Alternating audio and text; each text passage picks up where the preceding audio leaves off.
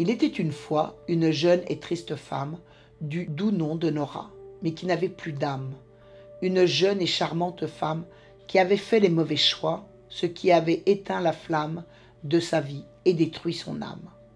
Tout avait commencé avec Grégory, premier petit ami du début de sa vie. Il avait le vin rieur, un esprit festif. Il voulait son bonheur, mais était possessif. Elle faisait la tournée des bars, soir après soir, sans bien réaliser qu'il la poussait à boire. Un jour, sans prévenir, ce fut le verre de trop. Nora comprit alors qu'elle ne pouvait rester. Tout était consommé, elle ne pouvait lutter. Elle se vit obligée de quitter son héros. La retombée fut dure, le matin douloureux. Restait un ami sûr, un imbécile heureux.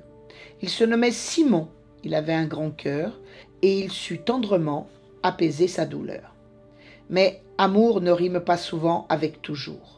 Le temps est le plus puissant des médicaments. Et ce fut Timothée, tout timide et charmant, qui surgit dans sa vie pour lui porter secours. C'était sa première, sa dulcinée et sa princesse, et autour d'elle il érigea sa forteresse. Tel un dragon maudit qui couve son trésor, il l'oublia bien vite et fidèle un décor.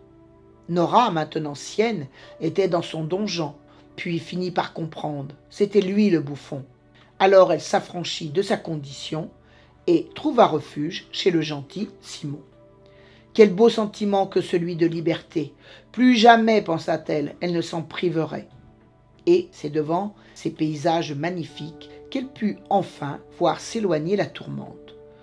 Ou bien serait-ce grâce à cette plante idyllique, refilée par Dorian, qui la rendait absente?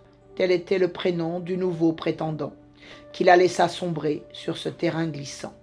Survint alors un choix dans son esprit en panne, succomber aux suaves attraits de Marie-Jeanne, ou bien se confronter à la réalité. Ils finirent par sombrer dans la facilité. Peu à peu, l'herbe consuma leur relation et la rendit esclave de son addiction. Elle finit par lâcher sa vie, la société, restant désespérée car il l'avait quittée. C'est Simon, son ami, qui lui ouvrit les bras. Mais Nora, entre-temps, avait perdu l'espoir. Ses yeux étaient fermés, son cœur ne battait pas. Elle voyait désormais son existence en noir.